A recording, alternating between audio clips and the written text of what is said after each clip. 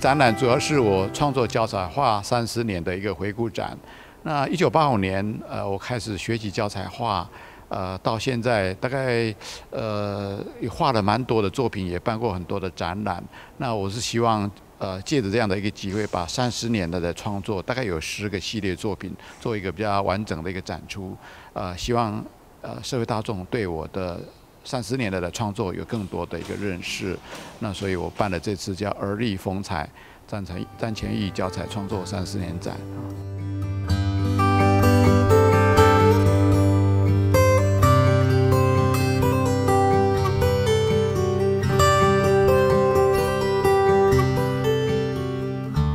嗯，这一次呃教授呃的主题是“呃立风采”。是教授呃三十周年纪念展，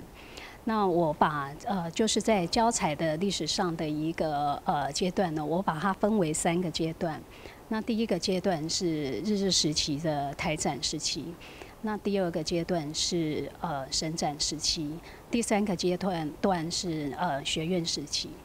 那学院时期，呃，继就是教授是继林之助教授之后呢，呃，是一个呃具主导的人物。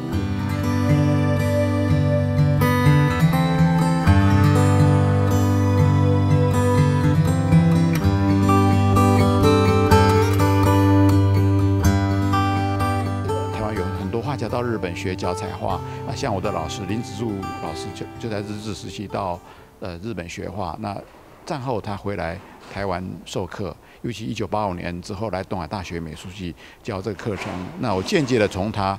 的身上学习到我们中国古古老的这种绘画的美彩。那这样的一种教材，它的色彩以矿物质颜料为主，在华丽中带一种稳重高雅的感觉。那这种这种感觉是我蛮喜欢的这种特色。